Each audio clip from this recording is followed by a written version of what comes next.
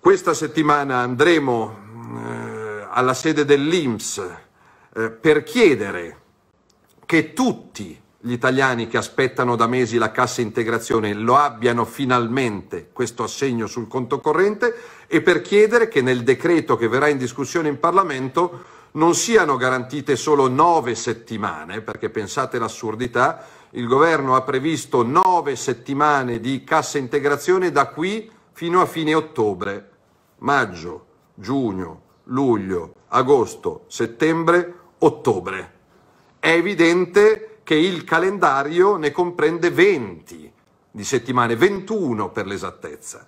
Quindi se il governo mette a bilancio 9 settimane di cassa integrazione, ma le settimane saranno 21, vuol dire che milioni di lavoratori e milioni di imprenditori, artigiani, commercianti, partite IVA, avranno settimane e settimane di nulla, di vuoto, di buco, di fame, di zero. E quindi andremo sotto la sede dell'Inps, il cui presidente peraltro poche ore fa ha detto stiamo riempiendo gli italiani di soldi. Ma qua veramente qualcuno vuole fare uh, arrabbiare gli italiani?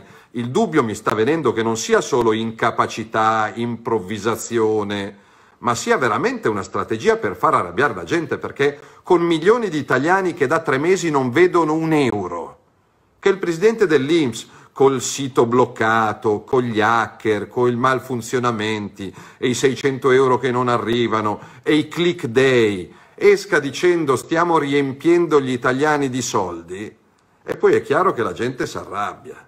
Noi stiamo lavorando per evitare problemi, per risolvere i problemi, però non si prendano in giro gli italiani. Non si dica loro che stanno ricevendo una quantità industriale di soldi e che verranno pedinati e controllati da 60.000 volontari per vedere se, se, se fanno quello che qualcuno ha deciso che si debba fare. No. Quindi cassa integrazione veloce, soldi veri alle aziende, ma tutte le aziende, soprattutto alle piccole, perché io vedo che eh, ci, ci, si sta preoccupando al governo della Fiat, di Autogrill, di Autostrade, di Benetton, ma il popolo delle partite IVA? Il popolo dei lavoratori autonomi? Il popolo dei liberi professionisti? Quelli insultati da Saviano vergognosamente l'altra sera da Fazio, silenzioso. Fazio che chiede a Saviano, ma chi segnala le persone in difficoltà alla camorra, alla malavita?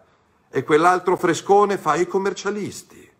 Ma porta rispetto sulla televisione pubblica pagata da 60 milioni di contribuenti, commercialisti compresi, che stanno interpretando centinaia di pagine di decreti incomprensibili per guardarsi la televisione la sera sulla RAI e sentire Saviano da Fazio che dice che i commercialisti sono complici della malavita organizzata. C'è un limite. Gli italiani sono un popolo solidale, generoso, paziente, laborioso, da nord a sud, ma non abusiamo, non abusate della pazienza delle persone per bene.